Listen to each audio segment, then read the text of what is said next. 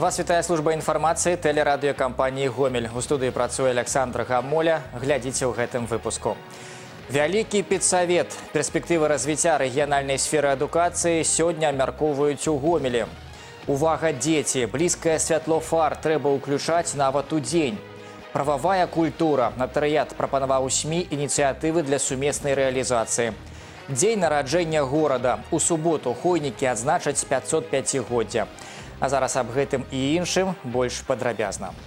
Каля тысячы педагогаў гомельскай вобласці сабраў сёння жнівенскі педсавет. У гэтыя хвіліны ён праходзіць у абласным грамадска-культурным цэнтры. Галоўная тэма сустрэчы удасканаленне рэгіянальнай сістэмы адукацыі, дасягненні і задачы.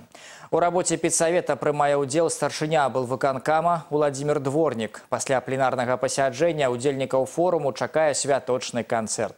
Падрабязнасці падзеі глядзіце ў нашых вячэрніх выпусках. Дарэчы, пра падрыхтоўку устаноў адукацыі да новага навучальнага года сёння пойдзе размова ў праграме дыялог. На пытанне адкажа начальнік управлення адукацыі гомельскага абулвыканкама Сергей Иванович Порошин. Глядите программу «Диалог» у прамым эфиры на телеканале «Беларусь-4» сегодня у 19 гадзін 20 хвилин. Номер телефона у студии 34 00 43. Завтра 26 жніўня мясцовыя ўлады правядуць чарговыя прамыя тэлефонныя лініі. На пытанні жыхароў гомельскай вобласці адкажа старшыня абласнога савета дэпутатаў Олег Леонидович Барысенко. Звярнуцца да яго можна з 9 до 12 гадзін па нумары тэлефона ў гомелі 33 12 37. А ў гомельскім гарвыканкаме прамую лінію правядзе кіраўнік спраў гомельскага гарвыканкама Алексей Анатольевич Васюченко. Телефон 33 07 62. Працягваем выпуск перспектывы супрацоўніцтва ў сферы папулярызацыі прававой культуры абмеркавалі сёння прадстаўнікі натарыяльных кантор і сродкаў масавай інфармацыі. Гомельская областная нотариальная палата, як і беларуская нотариальная палата, сваю дзейнасць ажыццяўляе з 1 студзеня 2014 года.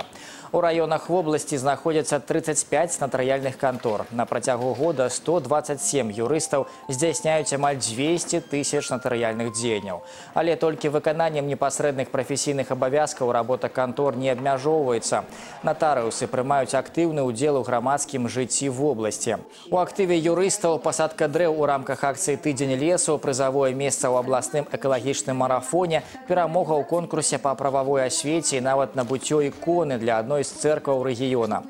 Апрача таго, сёння натарыусы з'яўляюцца шэфамі трох дзіцячых дамоў сямейнага тыпу. Разам з тым у абласной натарыяльнай палаце лічаць неабходным актывізаваць работу са сродкамі масавай інфармацыі. У прыватнасці размова можа ісці пра аказанне бясплатных кансультацый насельніцтву праз газеты, радыё і тэлебачання. Мэта павышэння прававой культуры жыхароў рэгіёна. Па словах натарыусаў, для іх няма забароненых тэм за выключэннем персанальных дадзеных кліентаў. Считается, что нотариат очень закрытая организация, потому что там существует нотариальная тайна, это персональные сведения о гражданах. Но для работы со СМИ мы очень э, открыты. Если к нам, например, приходит какой-нибудь корреспондент, говорит, ну дайте нам какой-нибудь материал, мы можем дать ситуацию, можем ее разъяснить и правовое основание показать. То есть формально мы готовы на любую тему разговаривать, какую нам дают э, СМИ. Старшыня мытнага камітэта Рэспублікі Беларусь Юрый Сянько наведаў адкрытае акцыянернае таварыства гомель будматэрыялы. Мэта візіту азнаёміцца з прадпрыемствам, якое актыўна экспартуе прадукцыю і імпартуе сыравіну для вытворчасці. Таксама адбылася сустрэча з працоўным калектывам. Падрабязнасці ў матэрыяле Дмітрыя Котава. На прадпрыемстве гомельбудматэрыялы функцыянуюць тры асноўныя цэхі па вытворчасці блокаў з ячэістага бетона, сілікатнай цэглы і мінеральных плітаў. Апошні від прадукцыі карыстаецца найбольш высокім попытам на знешніх рынках. Сёлета прадпрыемства павялічыла сваю прысутнасць у такіх краінах, як Украіна, Польша, Славенія, Славакія, Італія і Румынія. У агульным аб'ёме вытворчасці доля экспарту амаль 70%. Гэта Гэта значна больш, чым у мінулым годзе. Тады, да прыкладу, да замежных спажыўцоў пастаўлялася каля 40% вырабляемой продукции. Мы выдержим конкуренцию, у нас есть все сертификаты, в том числе и сертификат так называемый ЦЕ по биорастворимости. Таких сертификатов, в принципе, ну, не, всех и есть производители этот сертификат, поэтому мы вполне э, конкурируем э, со своей продукцией на э, рынках э, Западной Европы.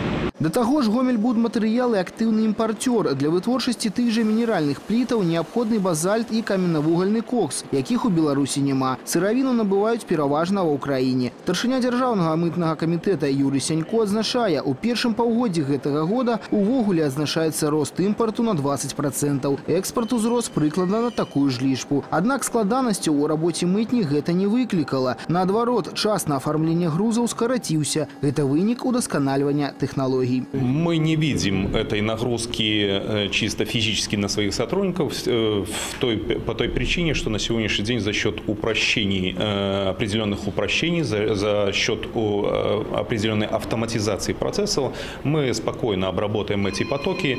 Здесь никакой абсолютно нагрузки мы не прочувствуем на сотрудников. Наша задача сегодня совместно с предприятиями смотреть, какие можно сделать еще действия, направленные на упрощение формальностей, связанных на оказания содействия по экспорту белорусской продукции.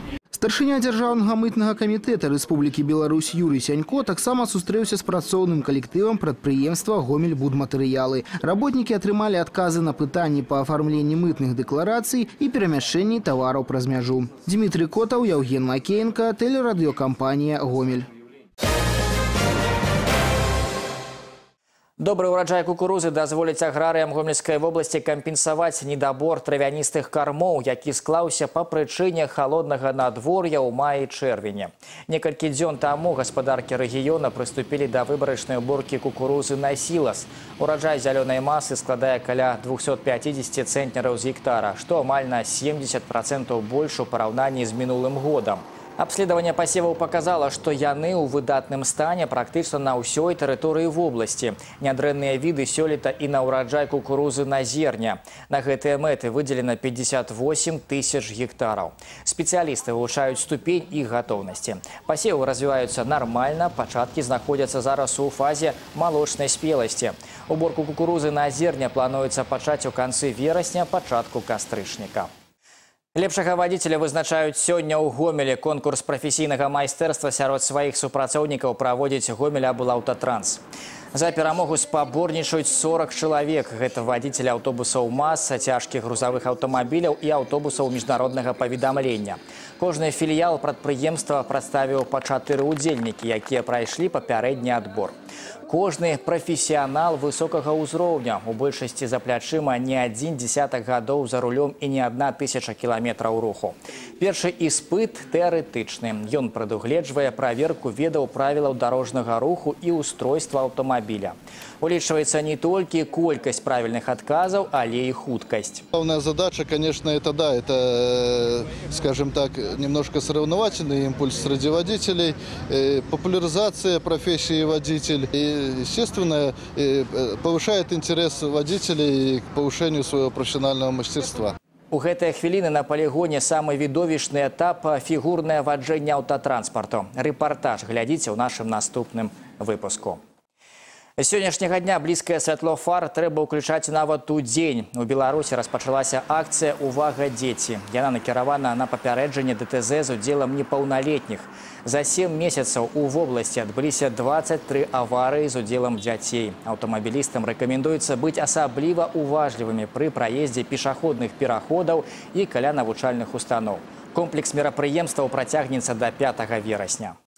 Раённыя арганізацыі гомельскага абласнога аддзялення беларускага фонду міру пачынаюць справаздачную кампанію. Яе асноўная задача правесці грунтоўны аналіз дзейнасці арганізацыі і паказаць яе ролю ў грамадскім жыцці рэгіёна. Нашы карэспандэнты наведалі рагачоўскі раён. Рагачоўская раённая арганізацыя беларускага фонду міру пачынае справаздачную кампанію на гомельшчыне, а таму і ўвага да канферэнцыі асаблівая. Увогуле фонд міру ўжо не першы год вызначае за сваёй актыўнасцю. Для простага пералічэння праводзімых акцый спатрэбіцца не адна друкаваная старонка. Дарогамі спаленых вёсак, маёй краіне, славім чалавека працы, дзеці міру. А яшчэ ўрокі мужнасці, маршы міру і акцыя салдацкая каша, якая атрымала асаблівае распаўсюджванне ў рагачоўскім раёне. Тут жа штогод праходзіць і дзіцячы лагер дружбы крынічка. У гэтым годзе ён адбыўся ўжо ў 25 раз. Сустрэцца з даўнімі сябрамі і знайсці новых прыехалі падлеткі з Гомельшчыны, Санкт-Петербурга, Курска, Маскоўскай і Жытомірскай абласцей. Падчас справаздачнай канферэнцыі дзейнасць гэтага лагера адзначылі асабліва, тым больш што дзіцячай дыпламатыі сёлета плануецца надаць асаблівую ўвагу преддвериях Международного дня мира, вот 21 сентября мы будем праздновать. В этом году он у нас пройдет э, под девизом «Вместе во имя мира». Ну а акцент особенный мы сделаем именно на детском миротворчестве.